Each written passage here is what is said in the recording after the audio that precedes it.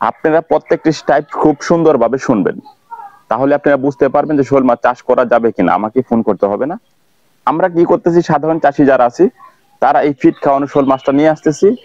Culture করতেছি, কিন্তু সুফল পাচ্ছি না। সর্বোচ্চ ফিট খাওয়ানো শোল মাছ সাত ইঞ্চির উপরে বড় হয় না। কিন্তু মাছের খাদ্য তো, শোল মাছের খাদ্য হলো ছোট মাছ। আপনি ফিট খাওয়াচ্ছেন। মাছ আর বড় হচ্ছে না।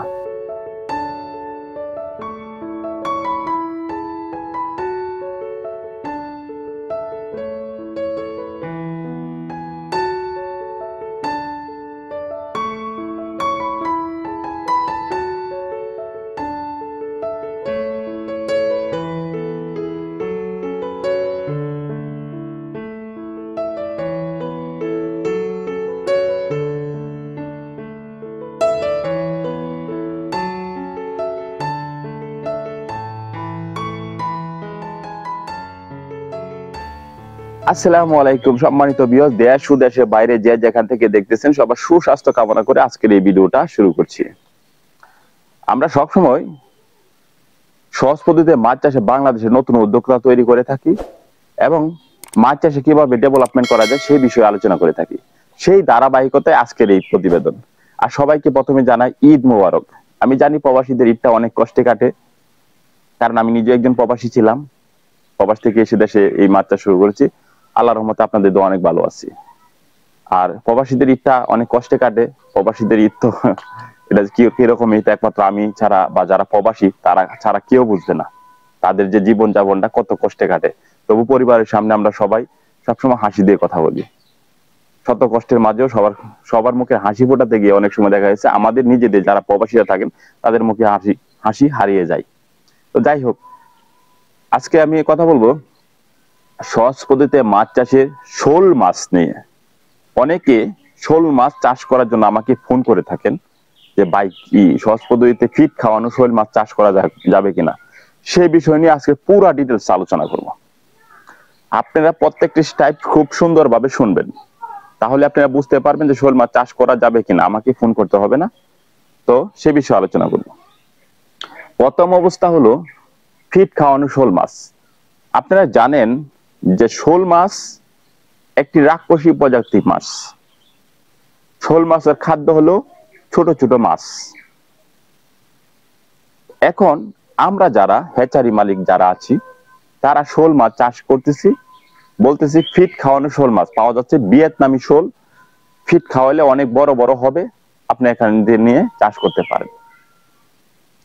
আমরা কি করতেছি? সাধারণ চাষি যারা আছি, তারা এই ফিট খাওয়ানো শোল মাছটা নিয়ে আসতেছি। কালচার করতেছি, কিন্তু সুফল পাচ্ছি না। এখন আপনারা কেন সুফল পাচ্ছেন না? আর এই ফিট খাওয়ানো শোল মাছটা কি? পুকুর থেকে ফিট খাওয়ানো থাকে না ট্যাঙ্কে উঠানোর পর ফিট খাওয়ানো শেখানো হয়? এই বিষয় নিয়ে আলোচনা করব। প্রথম অবস্থা আমি বলি কি, আপনি যদি শোল মাছ চাষ করতে চান, আপনারা যে শোল মাছের পোনাগুলো সংগ্রহ করেন, এটা পাঁচ ইঞ্চি, ছয় ইঞ্চি, সাত ইঞ্চি হয়ে থাকে। আর সর্বোচ্চ ফিট খাওয়ানো শোল মাছ সাত ইঞ্চির উপরে বড় হয় না।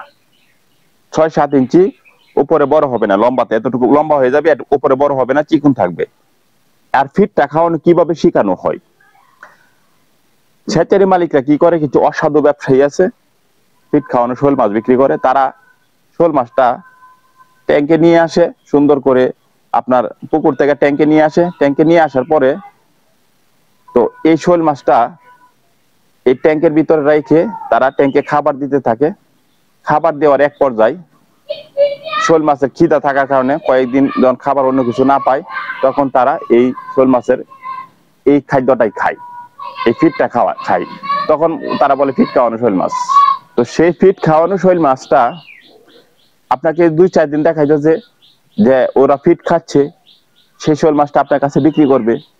না, আপনার ট্যাঙ্কে দেওয়ার পরে আপনি সেভাবে ফিট দিচ্ছেন। কিন্তু মাছের খাদ্য তো শোল মাছের খাদ্য হলো ছোট মাছ, আপনি ফিট খাওয়াচ্ছেন। মাছ আর বড় হচ্ছে না। অবলাস্টে বলতেছেন আমার প্রজেক্ট লস এখন আমি ইতিপূর্বেও বলেছি, শোল মাছ কোনোভাবে ট্যাঙ্কে চাষ করা যাবে না। চাষ করলে আপনার ক্ষয়ক্ষতি হবেন এটার জন্য কেউ দায়ী না। যারা দেখাইতেছে, তারা শোল মাছ দুই চার দিনে শোল মাছ ট্যাঙ্কে উঠাইতেছে ফিট খাওয়ানো শিখাইতেছে, বাস আপনাকে দিয়ে দিচ্ছে। বলতেছে, ভিয়েতনামি শোল ফিট খাইতেছে। এখন শোল মাছ যদি আপনি চাষ করতে চান, কীভাবে চাষ করবেন? এটা চাষ করার বুদ্ধি আছে, কিন্তু ট্যাঙ্কে না, সেটা পুকুরে করতে হবে।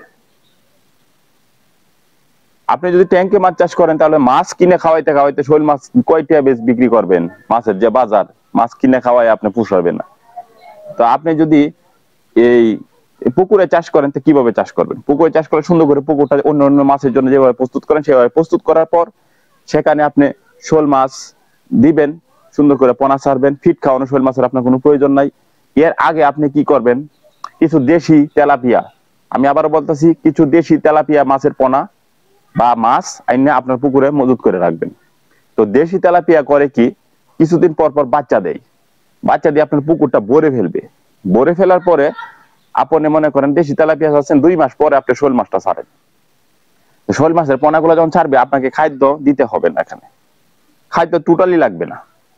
আপনি দেশি তেলাপিয়া গুলা বাচ্চা দিবে, বাচ্চা দিয়ে শোল মাছ এই পুকুরটা ভরে ফেলবে, আর শোল মাছের সেই বাচ্চাগুলা খাবে। আপনার দেশি তেলাপিয়া প্রোটেকশন কিন্তু অনেক বেশি দেয়। এটা কিন্তু সসাইডে পুকুর থেকে ইয়া করা যায় না। তো সেই ক্ষেত্রে আপনার খাবারের কস্টিংও কমে গেছে। বিনা খরচে আপনার শোল মাছটা হয়ে যাচ্ছে। আপনার পুকুরে চাষ করলে খুব ভালো করে, ভালোভাবে আপনার শোল মাছটা চাষ করতে পারবেন।